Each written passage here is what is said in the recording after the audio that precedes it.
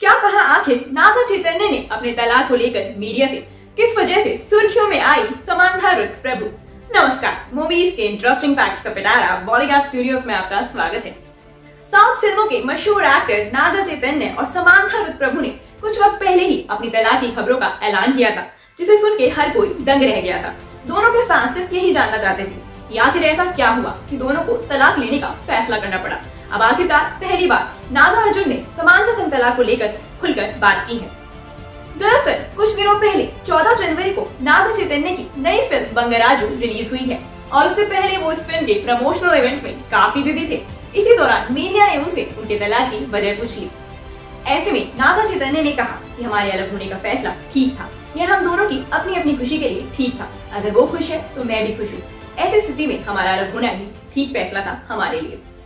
दूसरी ओर समानता ने भी कुछ दिनों पहले कहा था कि मुझे अपनी ज़िंदगी अभी और जीनी है। अपनी ज़िंदगी में बहुत सारी कठिनाइयों का सामना करने के बाद मुझे ये पता लगा कि मैं कितनी मज़बूत हूँ। मुझे लगता था कि तलाक के बाद मैं टूट जाऊँगी, मर जाऊँगी। मुझे नहीं लगता था कि मैं इतनी मज़बूत रहूँगी, लेकिन मुझे आज खुद पर गर्व होता है कि मैं कितनी स्ट्रॉन्ग हूँ। आपको बता दें कि नागा चैतन्य और समानता ने पिछले साल 2 अक्टूबर को तलाक की पुष्टि करते हुए लंबा चौड़ा सा नोट लिखा था। नोट तो लिख दिया गया। लेकिन बाद में जो सोशल मीडिया पर बवाल हुआ, वो तो देखने लायक था। दोनों के फैंस उनके अलग होने को लेकर काफ़ी चिंतित थे। लेकिन वो कहते हैं ना कि जब मियाँ बीवी राज़ी तो बीच में क्या करेगा सोशल मीडिया वाला काजी? दोनों अभिनेताओं ने बताया कि उन्होंने ये फैसला अपने शुभ चिंतकों से विचार विमर्श करने के बाद लिया था। दोनों का ये पोस्ट उनके फैंस के लिए एक बड़ा झटका था।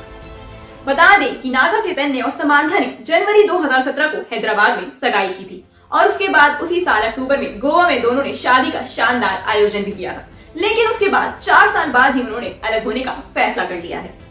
जहाँ नागा चैतन्य अपनी फ़िल्म को लेकर काफ़ी बिज़ी थे। वहीं समानता भी अल्लू अर्जुन की फ़िल्म पुष्पा में अपने डांस नंबर को लेकर सुर्खियों में रही। चलिए, अब हमें कमेंट सेक्शन में बताइए कि नागा चैतन्य की स्टेटमेंट को लेकर समानता का कैसा रिएक्शन आ सकता है।